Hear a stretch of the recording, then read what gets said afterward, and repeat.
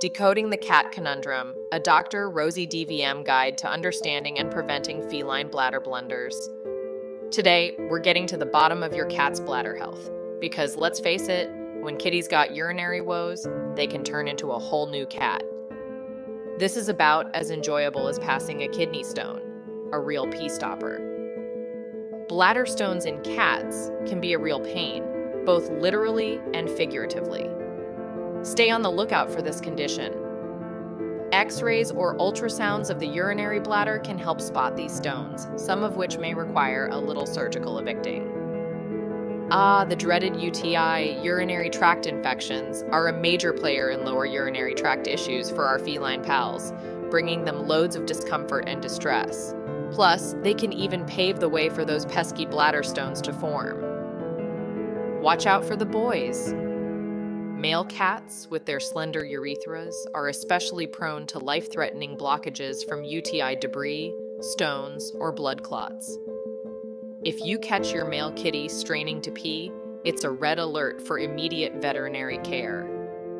Stress isn't just a mental hassle for cats, it can play tricks on their bodies, mimicking UTI symptoms and wreaking havoc on their urinary health. Stress can even lead to ulcerations and intense pain in the bladder, or cause urine to become seriously bloody.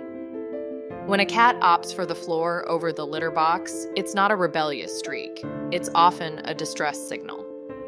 They're associating pain with the litter box and simply want to avoid hurting. Recognizing these signs and taking swift action can spare your cat from severe pain or worse. A blocked cat, unable to urinate due to an obstruction, can develop kidney failure and dangerous electrolyte imbalances, leading to death within just 48 hours.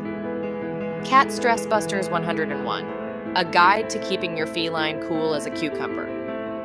I've got a whole kitty caboodle on feline behavior on my website, but today we're all about feline cystitis. Stressed out cats, when stress hits, bladders get sassy. Watch out for the inflammation showdown, pus parties, and urethra obstructions.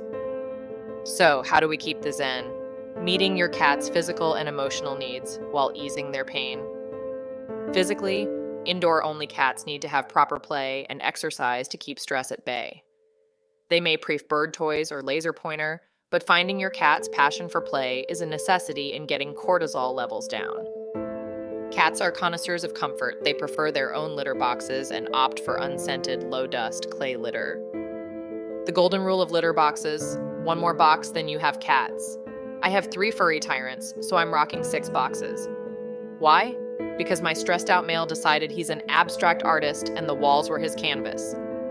If you catch your cat turning the house into a personal bathroom or having turf wars with their furry roommates, it's not just a bad habit, it's a plea for assistance.